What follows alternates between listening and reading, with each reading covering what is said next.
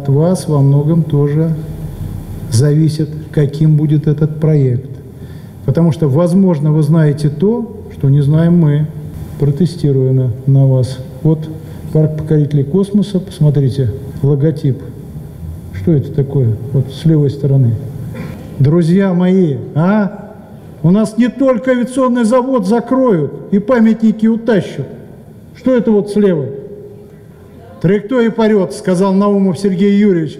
Молодец, а почему она прерванная? Как это вы не знаете? Сергей Юрьевич, траектория не может быть прерванной. Это трагедия. А приземление произошло. Значит, траектория все в порядке. Почему прерванная? Почему это вынесено сюда?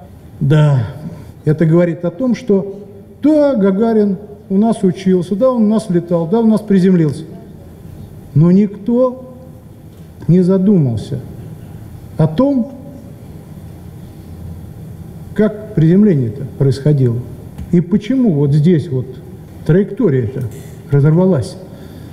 Пожалуйста, Сергей Александрович. Чтобы не тянуть дальше интригу, прерванный полет, конечно же, это обозначает, но на самом деле это тонкая история с тем, что при приземлении Юрий Алексеевич Гагарин разбил, приземление же было жесткое, разбил себе бровь, и это еще двойной смысл, что этот полет всегда был отмечен у него на лице.